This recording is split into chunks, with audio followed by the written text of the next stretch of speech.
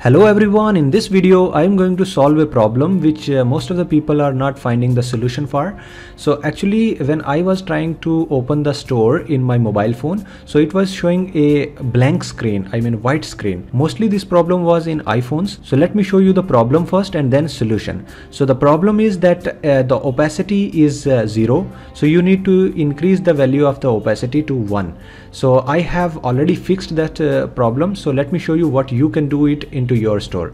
So firstly you should go to the dashboard of the store and here you can see that I have this theme. Whichever theme you have the same solution will apply.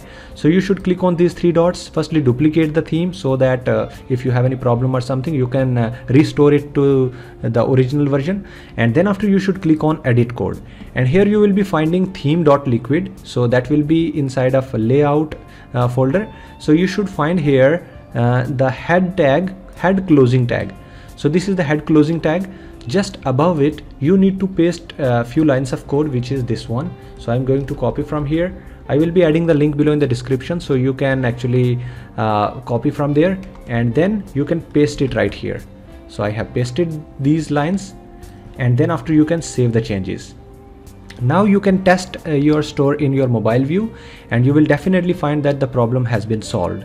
So that's how you can solve the problem. So if you have uh, solved it uh, tell me in the comment section and please like this video. Also subscribe this channel. You, you can follow me on tiktok facebook and instagram. So you can also join the whatsapp group where i'm sharing most of the content. So if you have any problem or something you can ask me directly. I will help you out uh, to fix it. So thank you once again. See you in the next video